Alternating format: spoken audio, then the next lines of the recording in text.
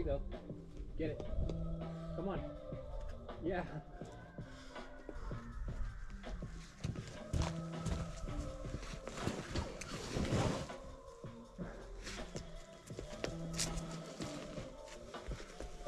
Why they make it so hard for the starving artist that's going hard for the culture and love it regardless. That don't do it for the money, that's not why we started. I just do it for my fans, that's just for my heart.